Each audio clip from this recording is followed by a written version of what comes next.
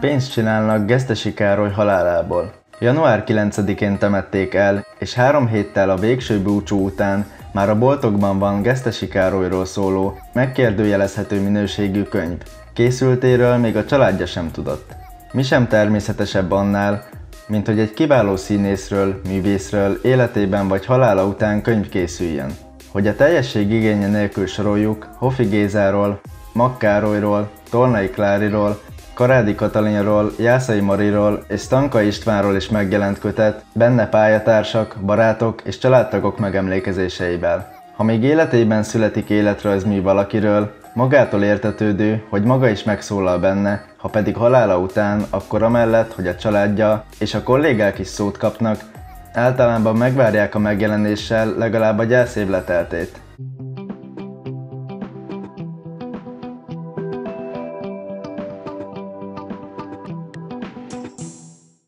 Többek között azért, hogy a családtagok is képesek legyenek beszélni az elhunytról, jóváhagyásukat adni az írásra. A szerző legtöbbször egy jó barát, pályatárs, aki magára vállalja a szép, de nehéz feladatot, hogy könyvben állítson emléket egy művésznek. De mindenképp olyas valaki, aki jól ismeri az elhunyt életét, munkásságát.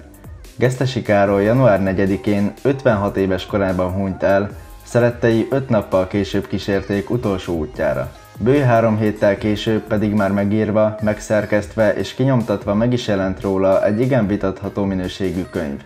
Az Egy élet ezer színe Gesztesi című kiadvány 190 oldalon sorolja a színész érdemeit, korábbi televíziós és újságoknak adott interjúkból válogatva, részleteket kiragadva pontos forrás megjelölés nélkül. Az idézett szövegek között felelhető sok olyan is, amit a színész lapunk hasábjain mondott el. A könyv és a szerzője egy középiskolai diák szókészletét és fogalmazási készségét meg nem haladó színvonalon válogat gesztesi életének történéseiből, a végére pedig bekerült jó pár megemlékező szép szó is a közösségi médiából. Így Liptai Claudia és fia, Márk szavai is szerepelnek a 3490 forintért kapható kötetben, ahogy egy levél is, amelyet még maga Gesztesi Károly írt lányának, Pankának, a 2007-ben megjelent Macsó Papák című könyvben. Hogy miért volt szükség a családtagok búcsú szavait bemásolni, arra egyszerű a magyarázat. Információink szerint a családot senki nem kereste meg a könyvvel kapcsolatban. Sem volt feleségei, sem gyermekei nem kaptak felkeresést a könyvírójától, akit egyikük sem ismer. A szerző Tábori Andra egyetlen más könyvet sem jegyez sem színészekről, sem egyéb témában. A kiadó Szalai Könyvek egyedül német Sándort, a hídgyülekezetének vezetője, Gesztesi Károly jó barátját kereste. Egy úr jelentkezett a hídgyülekezetének egy tagjánál, aki átadta a titkárom telefonszámát.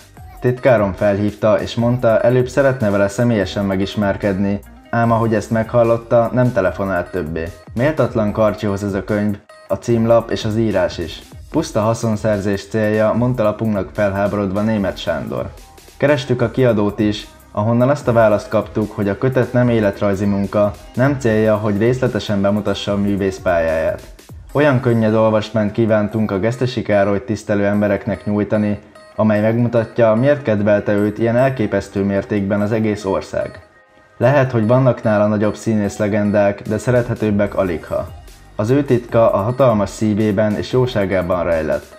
Ezt szeretnénk az érdeklődő olvasók elé tárni, bemutatva egy rendkívül sokoldalú és tiszta szívű embert, mondta a sajtóban megjelent cikkekből és többféle könyv kéziratából összeállított gesztesi könyv kiadója.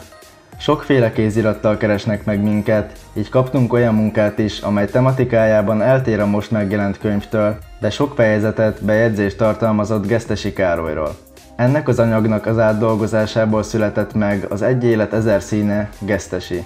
Könyvünk tisztelgés a művész emléke előtt. Válaszoltak kérdéseinkre. Nektek mi a véleményetek a történtekről? Írjátok meg kommentben.